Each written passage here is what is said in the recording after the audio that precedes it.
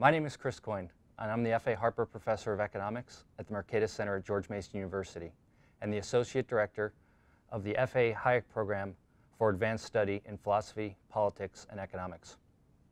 Today I'm joined by Robert Higgs, who is a Senior Fellow in Political Economy at the Independent Institute and is the editor-at-large of the Institute's quarterly journal, The Independent Review. Bob, welcome. Thank you very much, Chris. So in addition to understanding the historical episodes and, and, and providing um, a, a, alternative history compared to the conventional view, mm -hmm. one of the, the main takeaways that I, I think comes out of this strand of work um, is that when the government engages either in warfare or in security or defense, whatever you want to call it, it has to pull real resources out of the private sector. It has to redirect the entrepreneurial alertness of private actors, and it redirect those, redirects those things from, from satisfying consumer wants, private consumer wants, to satisfying the government. I think this is an important point beyond the episode of World War II because a lot of people to this day uh, make two, two related arguments. One is one you brought up earlier, which is the military Keynesianism type argument, which is that government spending on military or defense related activities somehow contributes to economic growth by stimulating spending. The second one is that government spending on security, defense, what, what have you, creates opportunities and products and services that otherwise wouldn't exist because mm-hmm. basically the government is, is sponsoring or subsidizing scientific research. Right. Um, do you see that this relating directly to some of the insights that, that you raise in, in this body of work?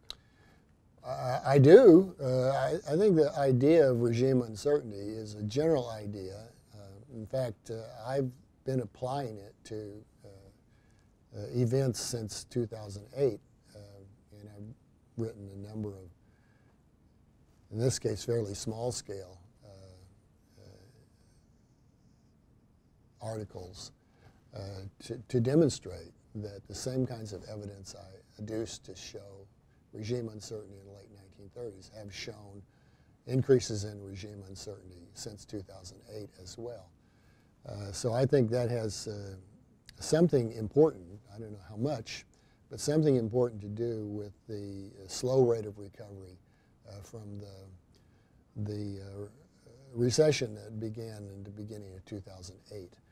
Uh, and in some ways has not ended yet, even though we're, we're now in 2016.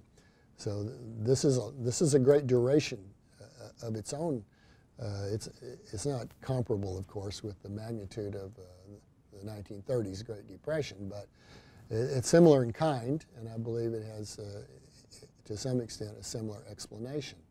Uh, now, another thing I haven't touched on that, that's, that you're now raising here is the, is the question of how people react uh, when the government increases the level of regime uncertainty. And, and it's not simply that they, they, they reduce the volume of long-term investment. It's that what they do undertake is different in character. Uh, obviously, some people will, will try to butter their bread by producing things the government wants. Uh, and if, for example, the government is subsidizing certain kinds of products or certain industries, then that will attract resources uh, to be invested in those places. So uh, Nowadays, for example, the government subsidizes so-called green businesses and green enterprises. And th this almost always turns out to be just a way of wasting money on uh, uh, paying large amounts of money to, to, to corporate cronies.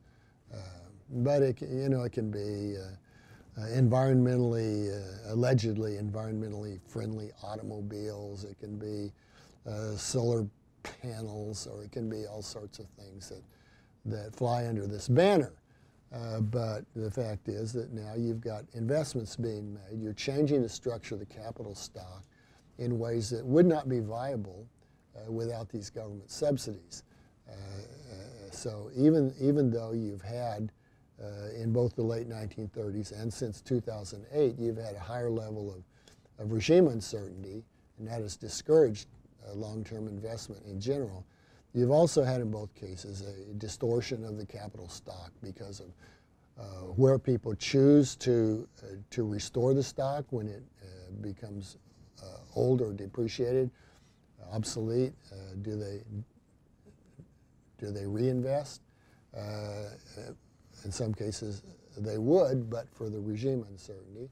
In other cases, they make new investments, even long-term investments, that they wouldn't make, except that the government has mixed the regime uncertainty with subsidies and changes in regulation that, that make these investments look as if they're potentially profitable. So, so there, when government intervenes, it, it, it, creates many kinds of effects. And uh, economists often seize on one or another of them, but, uh, but there, there are multiple effects, and they interact.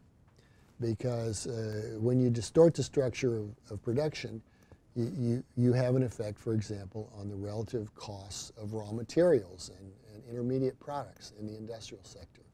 And that is, in some ways, a bigger part of the economy than the final goods and services part. There's been some research to show that. In fact, there are even attempts now to systematically take into account how much economic activity is going on at the intermediate levels that don't get taken into account by GDP accounting, where we, we look at only final, final goods and services when we add up the so-called total output of the economy. But, but of course, uh, a lot of action takes place within the capital structure itself. And when the government either creates uncertainty or or distorts uh, production uh, with, with, uh, with tax changes, with, with subsidies, with, with regulatory changes that affect different industries differently. It, it, distorts the capital structure, and that has effects on the operation of, of unrelated activities, different kinds of outputs.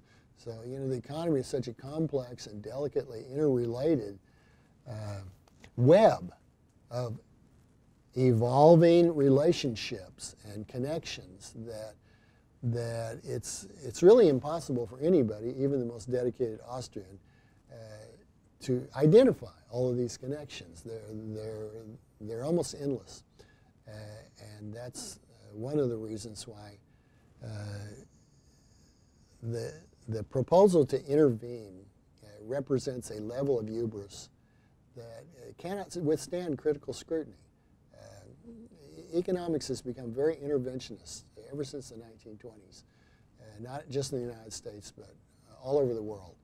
And certainly macro intervention has swept the field since the 1940s. Uh, but the intervention is always based on a very impoverished conception of what the economy is and how it operates a very simplified, mechanical, small scale, highly aggregated view. It's like this simple machine. Oh, you put uh, something in here and something pops out there. But in fact, the real economy is, is countless millions, hundreds of millions, billions of people all doing things that, if you track them close enough, relate to one another. We're all related. Just that we all come from Adam and Eve and are related that way. we, uh, uh, we're, we're all related right now in this huge world through the intricacies of the, uh, of the great division of labor that, that uh, Adam Smith uh, visualized for us, uh, perhaps well for the first time, and, and, and, others, particularly Austrians, have, have visualized in a more Uh, in a precise way uh, from time to time uh, since then. But, but uh, uh, Austrian economics does not lend itself well to interventionism at all because it, it, it's aware of the hubris that has to sustain those interventions.